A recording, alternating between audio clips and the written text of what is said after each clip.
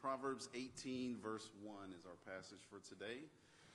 As we continue our series here in Proverbs entitled Wisdom for Life, uh, the last two weeks, I believe, we have been talking about seeking counsel and counsel and how all that stuff kind of works. We're continuing that, um, that little topic within this study this week and next week. But Proverbs 18, verse 1.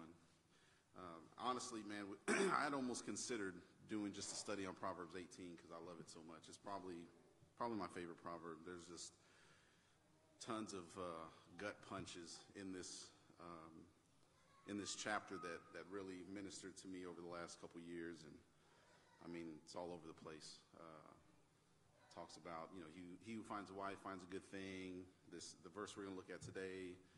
You know, not speaking out of turn, considering all things. There's just all kind of all kind of goodies in this chapter. Uh, but yeah, let's go ahead and read it. Proverbs 18, verse 1 says, Whoever isolates himself seeks his own desire. He breaks out against all sound judgment. That is the word of the Lord. May the Lord bless the reading and hearing of his word. Now, what I wanted to kind of the, the initial thought I wanted to bring to mind is, is anyone familiar, I'm sure some of y'all are, the phrase, a hard head makes a soft behind. Anybody heard that? Yeah? No? Hard head makes soft behind? And so, uh, yeah, so I guess not. Some of y'all have, some of y'all haven't. So what this phrase refers to is unruly children who continually disobey, right, hard-headed, and continually get spanked, right, soft behind. Hard head makes a soft behind. Now, uh, my dad had a another variation of it that's kind of says the same thing essentially, but uh, had more so to deal with what we refer to as ergonomics, or I guess what the kids today call life hacks, right? Easier, simpler ways of doing things.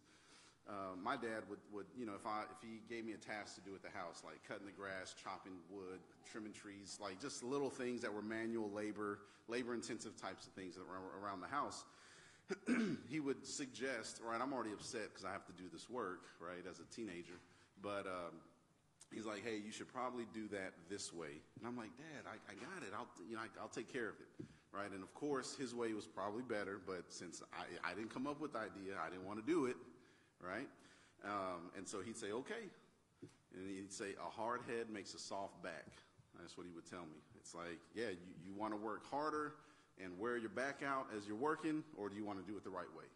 He would kind of tell, tell me that way, right? In other words, you can either work hard or you can work smart.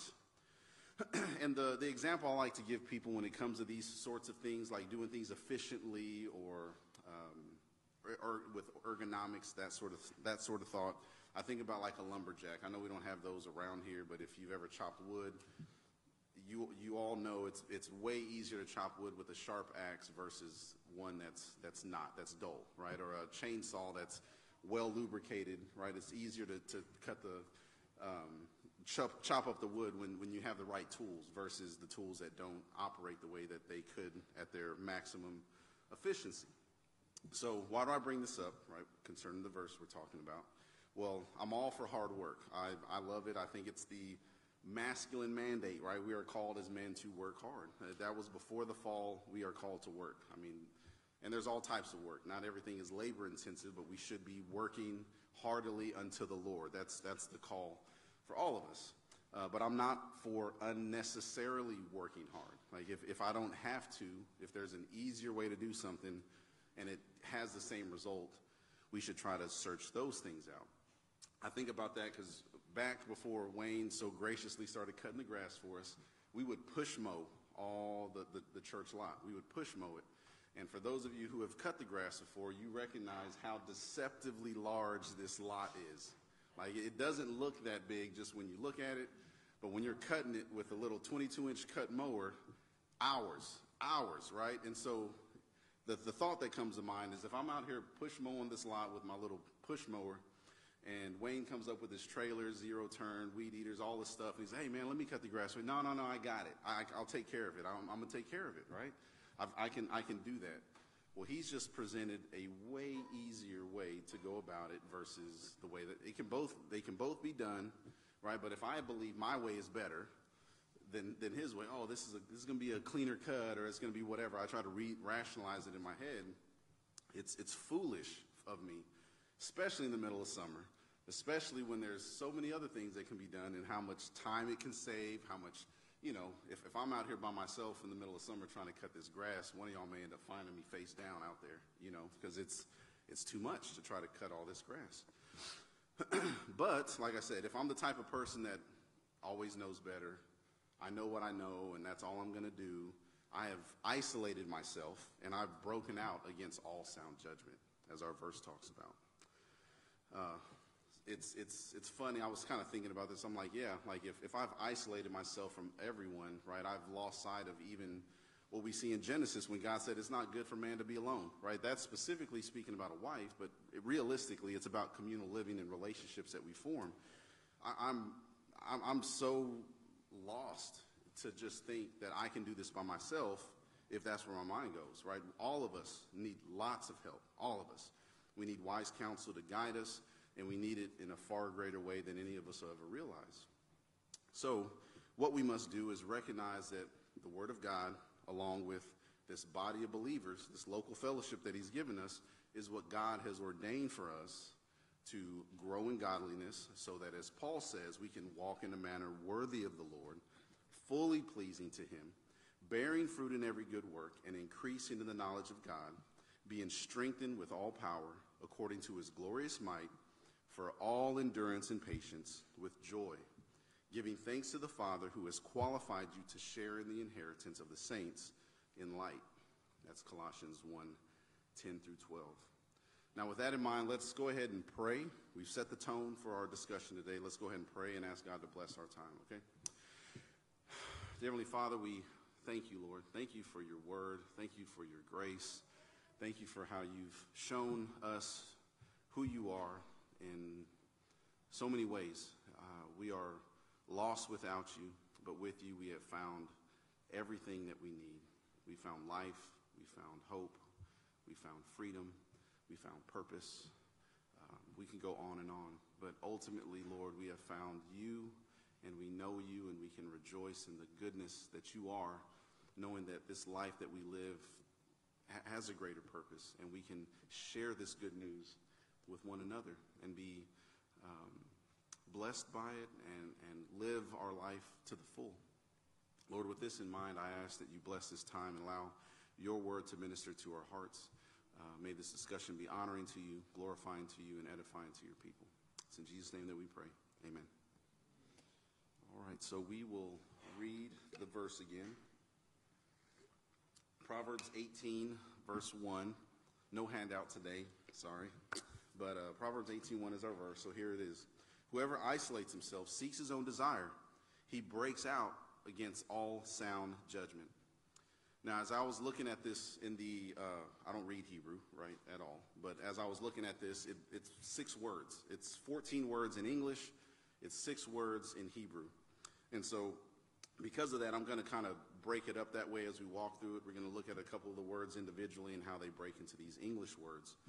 Uh, so, the first word that we find is what we get the first three words from whoever isolates himself. This is an individual word here. This is the very first word uh, in the original language. And it means, or it's defined as single, soul, divided, spread away from, to separate oneself from others, disperse, divide, or to be out of joint. Uh, the way this word, you see it used in the Old Testament, it's used in these ways, in these words, excuse me, separate, divide, part, scattered abroad, dispersed, severed, stretched. Now, one of the, the first one that I found that I thought really spoke to how this word ice, whoever isolates himself, what that speaks to specifically here was Genesis 25, 23. This is when Isaac and Rebekah are pregnant, and uh, the Lord speaks to her and tells her about the two babies in her womb. And he says this And the Lord said to her, Rebekah, Two nations are in your womb, and two peoples from within you shall be divided. Is that same word, shall be divided. Uh, the one shall be stronger than the other, and the older shall serve the younger. Now, I, I know oftentimes when we think of this word isolate, isolation, that sort of thing, we, we tend to think of like, I need some peace and quiet. I just need to isolate myself from all the noise and confusion in this world or in, in this time. I just need to kind of like cleanse my palate or whatever. Uh, but that's not what this word is referring to. This word carries the meaning of forceful or intentional separation or severing. That's, that's what this word means. And so to try to wrap my mind around isolate, just since there's so many ways that word can be defined in English, the word that, that came to mind for me when I was thinking, how, how could this word, um, how could the weight or intensity of this word really speak to me versus the word isolate? Well, the only word that I could think of that kind of carries that same kind of weight and negative connotation would be uh, divorce, right? Whoever divorces himself from others is the way that my mind works. It's like, yeah, that's a very serious thing, and that's a the, the grasp of that or the, the weight of that. We understand the gravity of it. Now, uh, we know this because we see this is what the word means, and then also many other translations word it the same way. So I wanted to give you a couple of those, just four examples. So the NIV translates this verse this way when it talks about uh, whoever isolates himself. Um, that the verse in the NIV says this: "An unfriendly person pursues selfish ends, and against all sound judgment starts quarrels." The New Living Translation says, "An unfriendly person, or excuse me, unfriendly people carry care only about themselves. They lash out against, uh, they lash out at common sense." Uh, the New American Standard Bible says it this way One who separates himself seeks his own desire. He quarrels against all sound wisdom. Excuse me. And then this other, this on this website, Bible Hub, they've got basically any English translation you can find. There's like 40, 50 of them. There's tons of them. And I was kind of looking through them, and they all said similar things to what these verses have said so far. Uh, but there's this other one called the Brenton Septuagint translation, which um, takes the Old Testament Greek and translates it into English. and it, it words it this way A man who wishes to separate from friends seeks excuses, but at all times he will be liable to reproach. Okay, so these are all different ways that this verse has been translated into English and how to help us understand this isolation is not a good thing. Right. Uh, another way to think of isolation is when we think about prisons and solitary confinement. Right. If someone is a danger to themselves and others, they isolate them. They put them in these in these um, cells where they're in there for 23 hours a day. They get one day of one one hour of uh, time outside of that cell, but they have been isolated from everyone else. Right? That's that's what we're referring to when we're talking about to isolate oneself. Um, now, when we think of that sort of isolation in light of who we are, when someone decides to isolate, isolate themselves, uh, I think we can all agree and understand that it's really hard to reason with that person, right? When someone has kind of separated themselves, trying to talk, whether it's your spouse, a child, parent, friend, whatever, right? When you're trying to reach out to that person, it's really difficult to reason with them when they've already started that separation process. Uh, the reason why is because they've convinced themselves, knowingly or unknowingly, that their decision is what is best for them and this is usually to the detriment of those around them. Now, before we move on to our next word in this list, when we think about whoever isolates himself, isolation, just that word there, did anybody have any thoughts or comments, any concerns, any clarifications that I need to make before we continue? Does anybody have any isolated comments? No? feel free to ask. I mean, that's what we're here for, right? To study the Bible. Okay. All right, so the next word, whoever isolates himself seeks. This is the next word here. Whoever isolates himself seeks. Now, this means to aim at, practice, seek to find, require, request, uh, begging, or to procure. Uh, I, I, found one of the words that, another, excuse me, another verse that uses uh, this same word I think speaks to this well as, as well. Um, Proverbs 17:9, right? It's just a few few verses back from Proverbs 18:1. It says this, whoever covers an offense seeks love, but he who repeats a matter separates close friends. Now the the providential thing about this verse, I didn't I didn't realize this till this morning. Uh, separates is the same word as isolation in the original language, and then this seeks word is the same word we're speaking to here. So it's using these as polar opposites, right? Whoever's seeking after something versus someone who isolates, right? Runs from. It's like we're, we're separating here. This one, they're trying to bring them together, okay? So, in other words, what this verse is, Proverbs 17:9 is saying, whoever covers an offense, aims at, is trying to practice, or is seeking to love their neighbor. That, that's the goal of that person. I, they, that's what they seek. They're, they're striving after this. Okay? Um, let me see, where am I at? Yeah, that, that brought to mind this, right? When I'm thinking about this word seek, and in light of Proverbs 18.1, whoever seeks, or whoever isolates himself seeks his own desire. When we think about that, think about any time you and someone have gotten to a, a an argument, whether, like I said, whether it's your spouse, your kids, your parents, friends, whatever, and there's there's an argument about something, you're you're certain that you're right, right? You're upset, your emotions are flaring because they're wrong.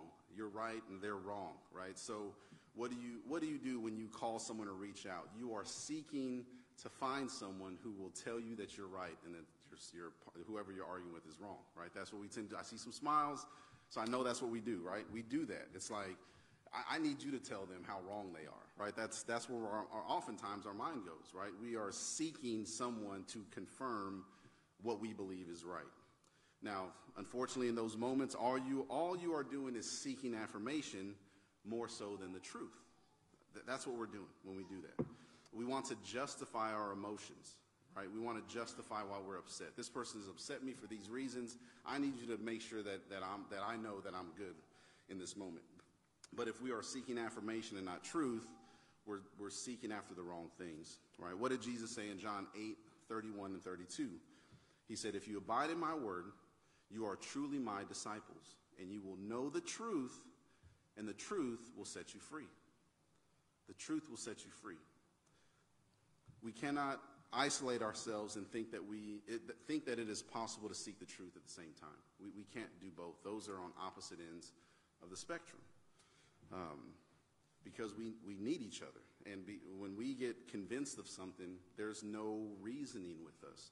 Uh, something that I, I, found out recently, just kind of looking into like psychological, physiological stuff, is when you're calm, your brain is in like logical mode. Like that's that's the way we think.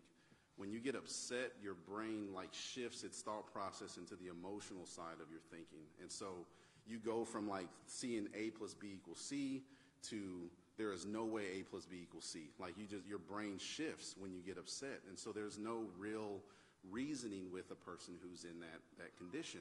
Um, James talks about that, right? There is uh, the the anger of man does not produce the righteousness of God. Like whenever we are in that mode, there is obviously a righteous anger, but when our mind goes in, when it shifts and we we don't realize it's doing it, that trigger sends us into irrational thought. That, that's that's what happens to us. And so then in our irrationality, we want confirmation that what we're doing is okay. Like, this is okay for me to feel this way because this person did this. But that's isolating. That's not seeking love. That's not um, trying to find truth. Like, but that's, that's what we tend to do. Um, and that's, that's the problem, right? Once I've isolated myself, I'm not seeking love. I'm not seeking uh, the glory and honor of God. I am seeking my own desires, as our verse tells us. Now, once again, I feel like I've got to say this, but like isolation is not referring to, man, I, I need peace and quiet to study, right? Because I needed plenty of that for this week. Uh, it's not your personal quiet time. This is all about I have cut people off because they've either done something to me or they have nothing to offer me, right? It's like it's a severing of relationships or it's a distancing from people uh, because of your perceived um, thoughts towards them, which are, which are unloving. This person can't offer me any, any help, so I'm going to push them away. Now, once again, as we talk about seeks, that's the, the word seek doesn't carry any negative connotation, but whatever we're seeking, right? If, if I've isolated myself, I'm already starting from a faulty foundation. Now, once I've started from this faulty foundation, wherever I'm going from there is going to be off. It's kind of like if you've got a gun and you're trying to sight it in and the sights are off and, and the ground is unlevel. You're not going to get a good, accurate shot from that because the base is off. But with the base is secure and square and all that, it makes it that much easier to ensure the accuracy of, um, of the trajectory of that, that bullet. so, it, so is the same with us, right? If, if, if we've isolated ourselves, we're already starting at, a, at, a, at the wrong place, and then whatever we seek after is going to be wrong. Okay, we can only seek after our own desires. And so that's what this verse tells us. So it's in these moments that this man or this woman has isolated himself.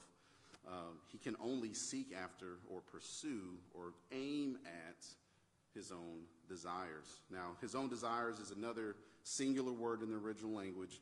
Uh, this can be des- uh, translated as desire, wish, longings, uh, excuse me, longings of the heart, uh, lust, appetite, covetousness. Now, it, it covers both godly desires and sinful desires. It's just, just a neutral word.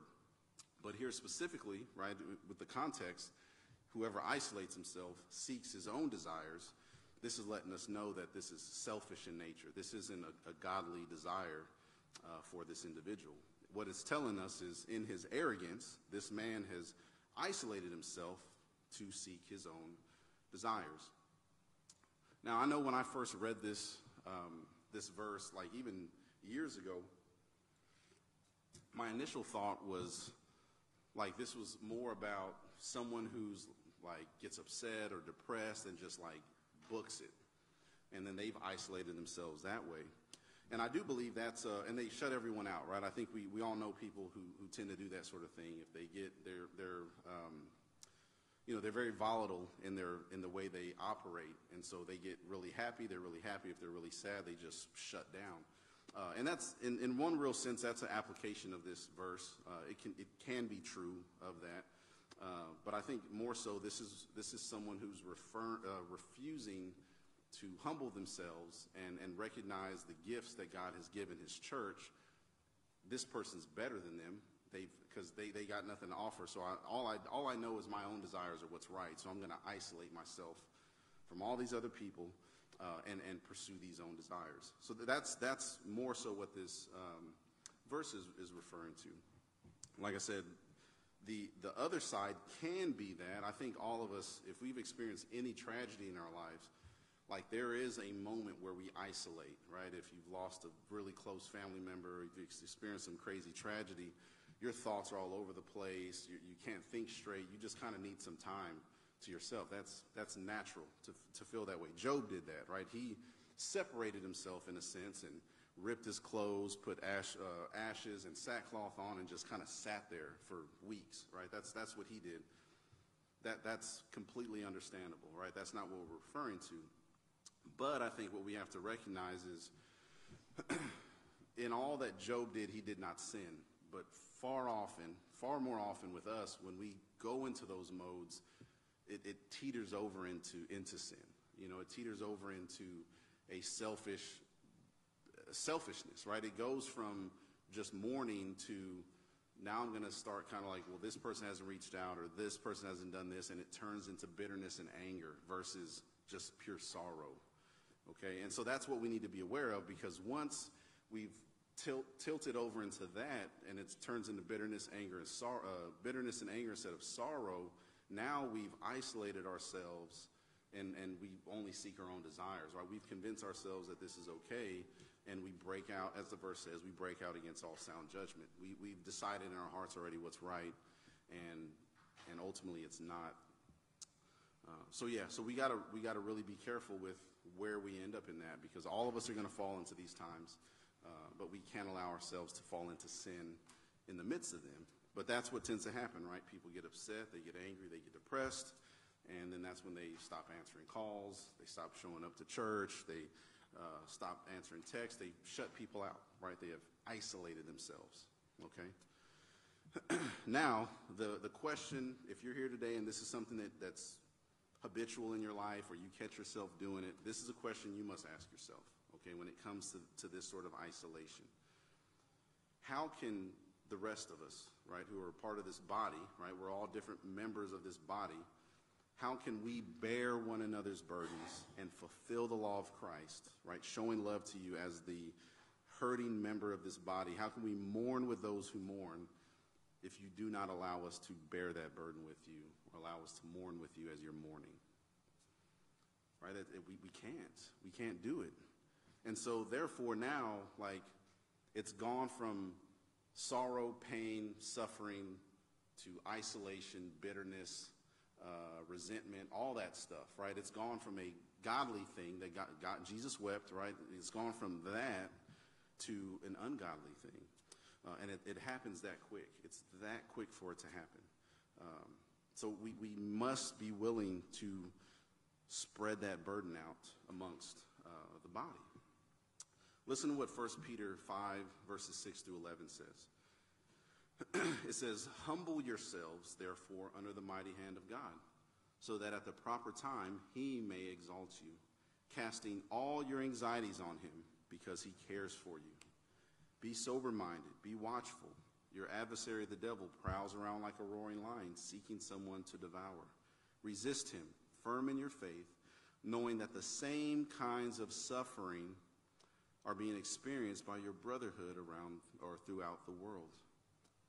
And after you have suffered for a little while, right? Sometimes the suffering seems longer than a little while, but in light of eternity, it's just our entire life is but a, a vapor.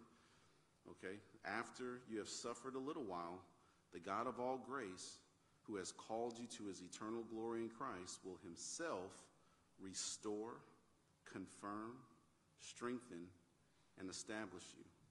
To him be the dominion forever and ever. Amen.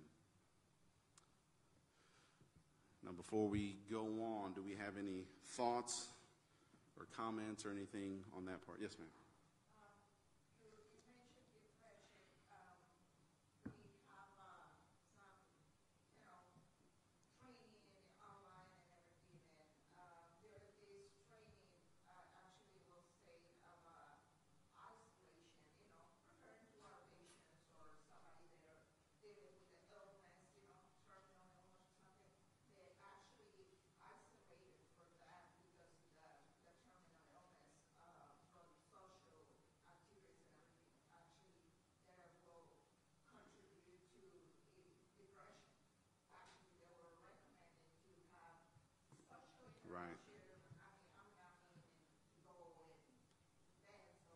Right, right, right. Just be around people.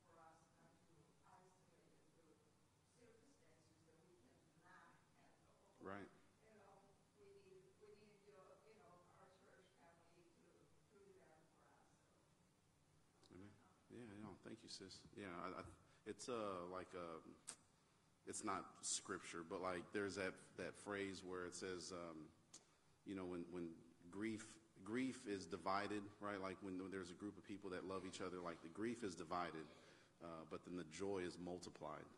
You know, like you're able to bear that with one another, and it it doesn't remove the pain, but then it, it spreads itself around for where everyone's able to mourn together. Uh, but then when there's joy, it's it's multiplied, you know. And but if we're not intimately involved in each other's lives, no one no one would know either way. And so it's it's it's really important for us to to be to be there for each other, like you like you mentioned. Pastor, you gonna say something?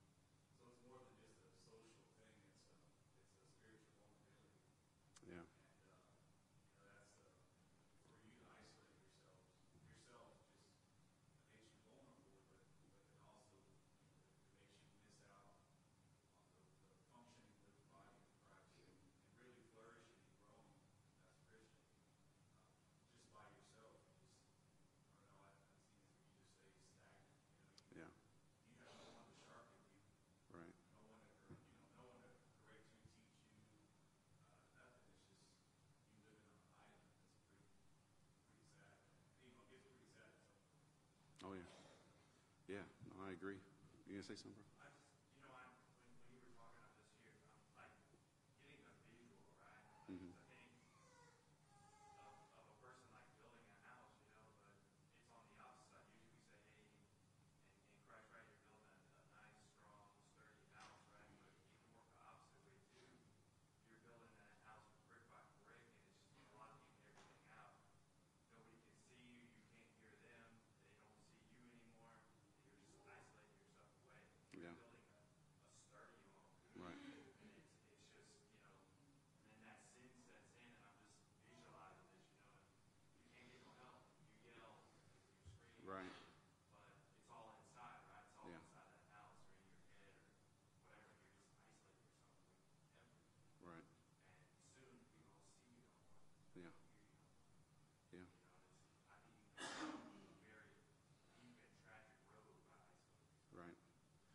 Yeah. Isolation is is uh, is terrible.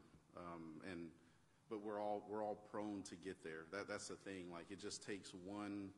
Uh, you know, as Paul said, a little leaven leavens a whole lump, right? If we let one false word seep in and take root, it'll flourish and, and produce whatever. And, and all it takes is gossip, slander, uh, anything, you know. Um, if, if I was talking to one of you and I said, man, this person never does this right, you know, and I just say that out of frustration, well, then they're like, man, if he said it, like, yeah, maybe, the, and then they're going to be looking for that in that person the next time. Oh, yeah, he was right. They never do that. And then, boom, this just drives a wedge between people. And yeah, he's, that's just who he is or that's who she is. That's all, that's all it can do. All it can do is pollute. You know, if, if garbage comes out, like all it can do is taint what God has made beautiful, you know, with, within the, the local body. So yeah, absolutely, we can't can't isolate. As Pastor said, the isolation is a form of discipline from 1 Corinthians 5 when, you know, the guy's like sleeping with his father-in-law or his mother-in-law. They kick him out of the church in the hopes that Satan will destroy his flesh and he'll be saved for the, the day of the Lord. Um, all that is, is the reality. It's, we're not designed to just pick ourselves up by our bootstraps. I mean, that's, that's not how a body operates, right? If, if a, an appendage gets cut off, if it gets severed or separated from the body, it's going to die. It's gonna, it's not gonna survive. I mean, we have to reattach it, and that heart needs to pump that blood back to that area and nurse it back to health. All right. We, go ahead. Yeah.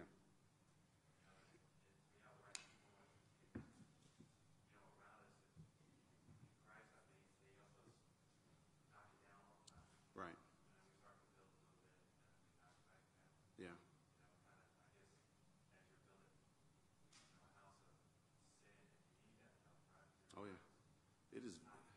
Very easy to do, especially during tragedies. Like it's so, so easy to do. Uh, I, I think I've, I think I told the trade guys this a while back because you know Lena was having her seizure. It's almost been two years now since she's had her last one, thank God. But like during that storm, like I was, I'm, I'm the extrovert, right? So I'm like posting all kind of stuff online. I'm sharing stuff with people, um, and I don't know if it came across as if I was fine, uh, but I wasn't. I hope it didn't come across that way. But um, a lot of women reached out to Devin. Like a lot of women reached out to her and helped her, and you know, not that we play balance games, but like on my end, I didn't feel like there was as much. And so, like, there was like anger, like bitterness that was starting to take root in my heart. And I was like, man, I've reached out to most of these guys when they've gone through stuff, and where's the return? You know, like, I, it, it felt that way, just being, being honest. And so, came back to church one day for something, and um, it was Wayne in particular. Like, he talked to me outside, and he was like, "Man, I wanted to. I wanted to read. It was just, it was hard. You know, it was hard to to even press the the sin button because I was so broken up when I think about my own daughter. And so I was like, here I am isolating myself in these thoughts that no one really cares for me, and there he, was. He did. You know, others did, and we, we're all human. And so I understand. Like, I'm I'm I'm over that in the sense that like I've taken those thoughts, make them obedient to Christ, but it doesn't change the fact that if I let myself continue to go down that route, it would have just taken root and really festered within me. Uh, but I now I get it. Like going through that, I get how easily people can get offended about something, and you don't realize it, and it just it settles, and then it never goes away until something brings it back to the surface, and then it, it, it blows up. Like, well, you never did this for me when I was going through my, and it's like, where did this come from? You know, and so yeah, I get it, 100% understand. Like, I fully, fully get it. Um, but that, that's what happens when we isolate ourselves, you know.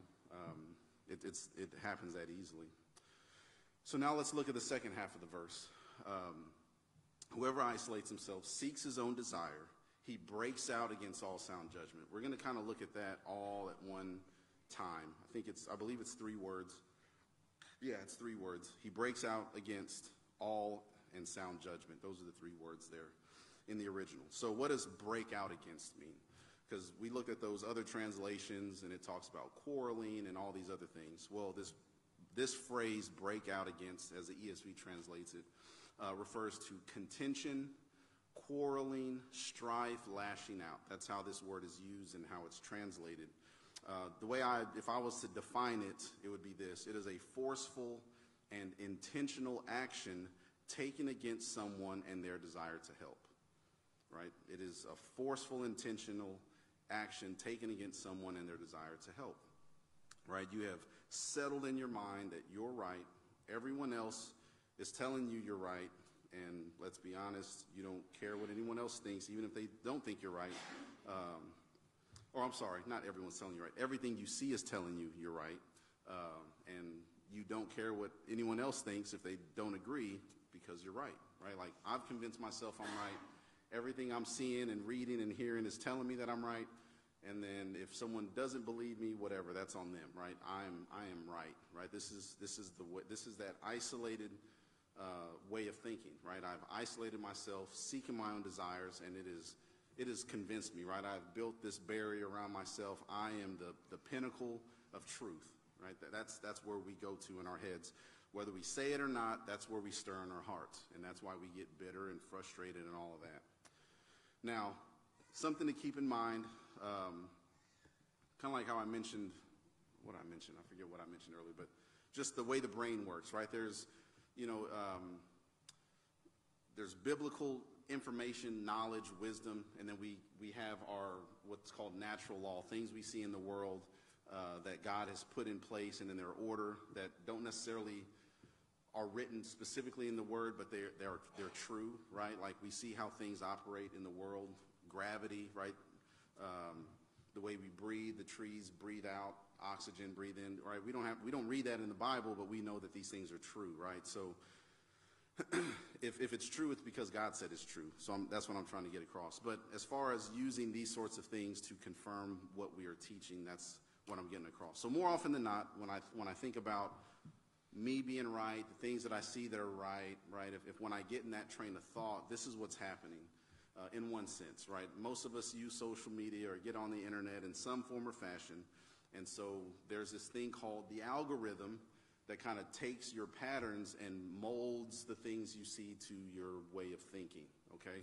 Uh, that's how an algorithm works. And so more often than not, if you're surfing the phone, your web, the web on your phone, you're going through social media accounts, whatever, your news articles, uh, the advertisements, the opinion pieces that are posed, they are all within your way of thinking, right? You're going to get a lot of the same stuff, right? If you're left wing, you're going to get left wing stuff. If you're right wing, you're going to get lots of right, wing stuff. That's just the way the internet works because they're trying to get you to look at it. They know you're interested in these things. Uh, now, that, uh, that fits with who we are because these scientists and engineers have figured out this is the way we, we think, this is the way the, the mind works. Um, and, and as humans, as selfish people, they understand we like confirmation, right? They understand that. So they're going to feed you stuff that, that you already believe, and they're going to convince you that that's, this is what's true, right? So you can have two people, different beliefs. They're going to get on social media and to see two completely different points of view, and they're both going to think they're right, okay? Because that's the way this stuff works. Now, this is called uh, confirmation bias. That's one way to look at this, confirmation bias. Um, we, we want to believe that we're right and we're going to find things that affirm that for us. Okay, I've confirmed this through this news outlet that this is right, right? If I'm whatever, right? Whatever news stations, I don't want to throw those out there, but that's confirmation bias. It's a person's tendency to process information by looking for or interpreting information that is consistent with their existing beliefs. A huge way you see this is in sports, right? Like, that wasn't a catch or that wasn't a what you know that was a foul like you know and two people are watching the same thing and one person's a fan of this team they're going to see this we one one person's a fan of the other team they're going to see it that way. It's confirmation bias right? That's that's the way it all you can see that every single play of every single game that should have been a foul that should have been this that should have that was out of bounds that was inbounds confirmation bias influences that whether we realize it or not. Now, one way Christians do this, if we were to make this, like, you know, bring this back to a, a, a spiritual thing, Christians oftentimes look for signs. We look for signs, right? Lord, I need an answer. Just show me what you want me to do. Give me a sign so I know, right, I can have peace about making this decision. This is, this is what we do, right? If you're looking for, a, you know, you're, you've, there's somebody presented with, with a new job, and it's in the field of making teddy bears, right? You're going to see teddy bears everywhere, and it's going to be like, you know what, this this was God's this is what God's will for me. I see teddy bears everywhere. This is a sign He's giving me, right? Silly, but that's what we do. Uh, now that, right, what I just mentioned, like this thing is brought up now, I see it everywhere. Um, that's not so much confirmation bias, but what that term is called. It's another term that I'm throwing out there because I like these weird terms is the, uh, the Baader-Meinhof phenomena, right? The, the Baader-Meinhof phenomena. Now, what that is is like we got that white Highlander, right? Once we got it, see it everywhere, right? See it everywhere. I'm like, hey, look, there's another one. There's another one. Like, where all these? Where did all these white Highlanders come from, right? Or you get a new pair of shoes and you, you see them everywhere, right? Whatever it is, right? If you're Cowboys fan, right? You're to see Cowboys stuff everywhere. If you're Houston Texans fan, you may see it here and there. I'm just kidding. I'm just kidding. But yeah, you'll see it everywhere, right? Whatever it is, right? That's that phenomena. It's called a frequency illusion. Uh, we, we see it wherever we go because we want to, right? It's going to always stand out. Um, but that's, that's the way our mind works, right? If I want this to be right, I'm going to convince myself that this is right. I'll find ways to convince myself it's right whether it's consciously or subconsciously. That, that's just what we do. Why do I bring that up? Well, we see this in Scripture. Jeremiah 17 9. It tells us, The heart is deceitful above all things and desperately sick. Who can understand it? Right? Who can understand it? Because we will find a way to justify our feelings. We will find a way to justify anything that we really want deep down. We will justify it, right? You see people in that, that claim to be Christian or maybe are Christian, and they want to be okay with certain sinful lifestyles, right? And they will search the scripture until they find something that just vaguely resembles what they want to believe, and they'll cling to that as like, this is ultimate truth. See, this allows me to do this. This is why it's okay for me to whatever. um, people have used all sorts of things to justify all sorts of heinous sins, whether it be homosexuality, transgenderism, uh, polygamy, uh, adultery, all sorts of stuff. You know, all sorts of stuff gets justified through the Bible, or they try to, because they've got a, a faulty belief, right? They've isolated themselves, they they're seeking their own desire, and that's only going to lead them to breaking out against all sound judgment, right? That base is off. Therefore, anything they do after that is going to be off because they haven't started at the right place. Uh, and like I said, this can happen to anyone. You could be a solid Christian, a, the most loving Christian, the most mature Christian within the church, and in your own desires, you lose sight of godly counsel and wisdom by isolating yourself just ever so slightly, and you, even you, will break out against all sound judgment. It can happen to the best of us, and it will happen to the worst of us. Um, now, if you think you're not susceptible to that, get ready because God will make it happen, right? Because He gives grace to the humble, but He actively opposes the proud. Uh, that's actually Pastor's passage from this morning, right? Yeah, so we're going to hear more about that later. I ain't got to get into that anymore. Uh, but how quickly we forget James 1 13 through 15. Let no one say when he is tempted, I am being tempted by God. For God cannot be tempted with evil, and he himself tempts no one. But each person is tempted when he is lured and enticed by what? His own desire. When he is lured and enticed by his own desire. Then desire, when it is conceived, gives birth to sin, and sin, when it is fully grown, brings forth death. Right?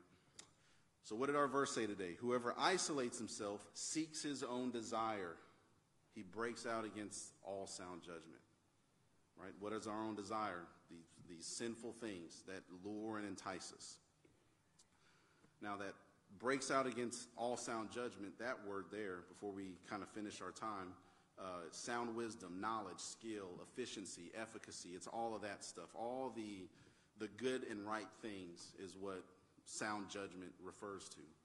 Uh, knowing what to do and when to do it. That, that's, that's essentially what that is.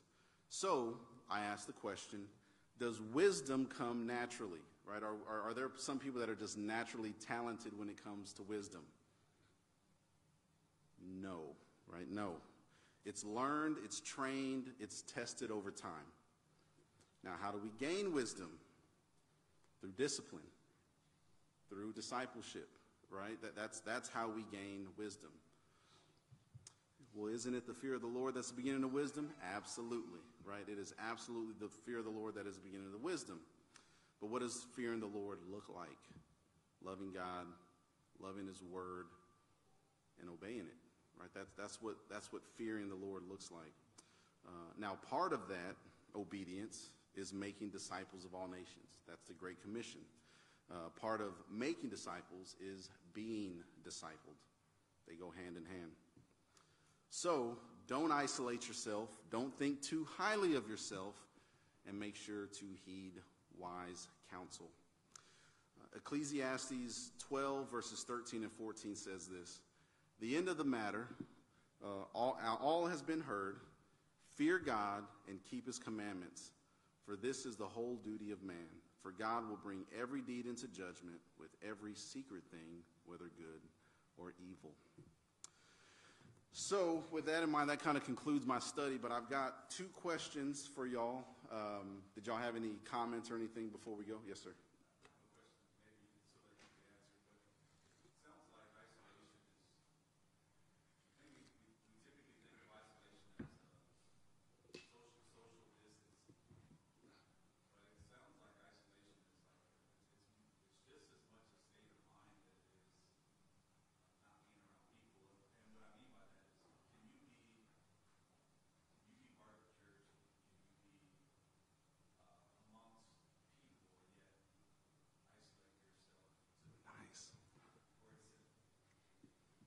An excellent question. Um, is isolation more than just like physical distance? Can you be in a church and still isolate yourself? Does anybody want to answer that? I mean, I, I will, but yes. Why? How? How does that? How? How can you be in the body and not? Same way you can be in a marriage and not present in that marriage. Yeah, absolutely. Yeah. Yeah. One thing I do have uh, that kind of jumps out at the, in this passage, like we kind of talked in the first half of it of isolation being a little more non-intentional, like uh, well, it's just kind of protect myself. I'm not intentionally trying to isolate myself, but it's just this is just the result, right? Uh, and then when you, when you see seeks his seeks his own desire, seeks is a very active term, right? Mhm. You're intentionally seeking something. Right. But I think regardless of where on the spectrum you are, the result is the same. It's like if you isolate, Right. you are seeking your own desire. Yeah. Whether it's unintentionally isolating or if you just completely made up your mind, you're going to do what you want, you're going to not listen to sound of judgment. It's the act of isolating is in some form seeking your own desire, right? Yeah, yeah, no, that's good. Yeah, so it, it- the, the verse could have been worded that way, right? If, if someone isolates himself, he seeks his own desires and breaks out against sound judgment. It's, it's not a matter of, of, uh, there's options there, but if you're doing it, it's actively severing relationships, severing connections, um, all of that. Yeah, absolutely. Yeah, no, I think that's a good question because there's people that, like we mentioned this, right? They put on their church face, they come in and they're happy. Oh, God bless you, brother. Too blessed to be stressed. Yeah, it's, everything's great. They leave here and then it's horrible. And then they don't come for a month or two and then you find out they're separated or they're whatever. Like the, the woman left, the man left. Uh, they're in this deep rooted sin. They're like, how did this happen? Like we were just talking a few weeks ago and it's like, yeah, th- yeah, this has been going on for a while, and we just didn't want to say anything. It's like you've isolated yourself. I mean, that, that's what you've done. You haven't allowed the body to be the body, um, and, and you've isolated yourself. And it's a, yeah, and as we said, God opposes the proud and gives grace to the humble. If, if you want to walk through these doors in a, in a proud fashion, because hiding those things is proud, right? If we read 1 Peter 5, humble yourselves, right, under the mighty hand of God, and he will exalt you, uh, casting all your anxieties on him. If you're not doing that, you are being arrogant, right? And you're because you you got it figured out. You got it. You know what you're doing. You know why you're doing all this. This is, you know, I don't want to worry people with these things. No, if the Bible commands us to confess these things and bear this burden with one another, to not do that and justify why I'm not doing it, I know better than God. What is that? That's arrogance. That's pride. That, that's that's not humility. That's that's the worst of the worst. Uh, and so, yeah, what is is God going to bless that? Right? That's that's disobedience. He's not going to bless that. Uh, so, yeah, it's important for us to to understand that's we- we're we're to walk by faith, right? I I don't know what this is gonna what's gonna come of this, right? I I know I need to confess this. I know I need to speak about this. I know I need someone to pray for me about this.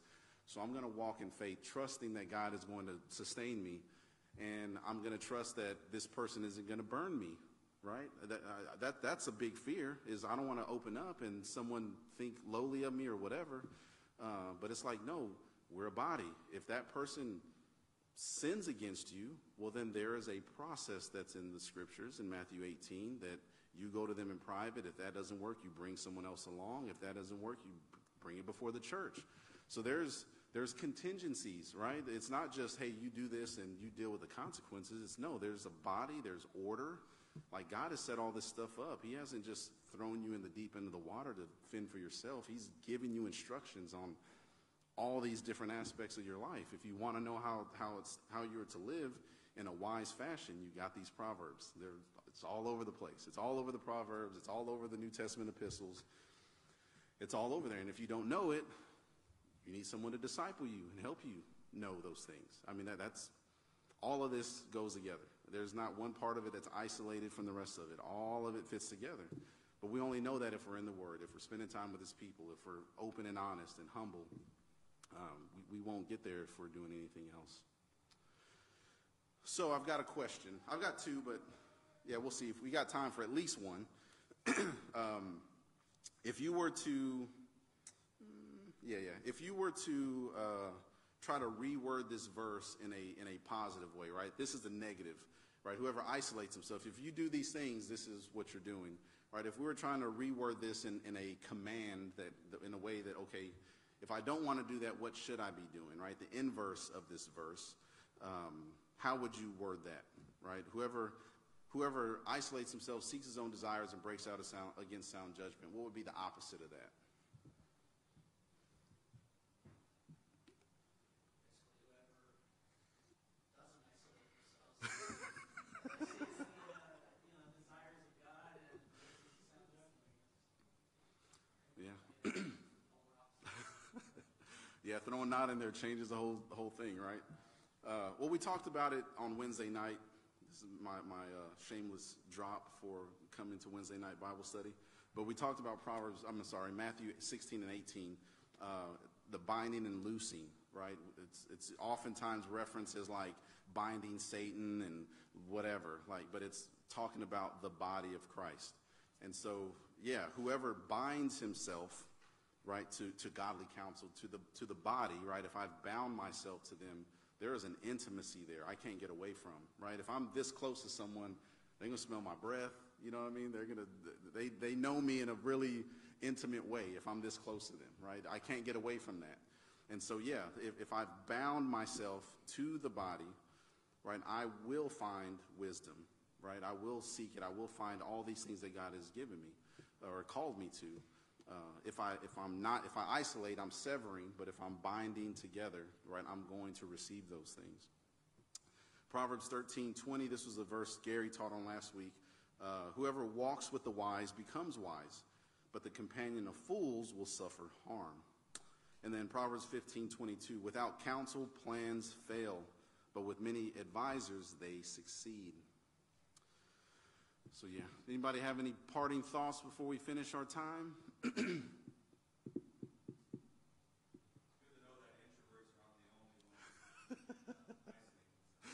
Yeah, us extroverts, we hide in plain sight. That's what we do. So yeah, yeah, that's good. All right, let's close in prayer.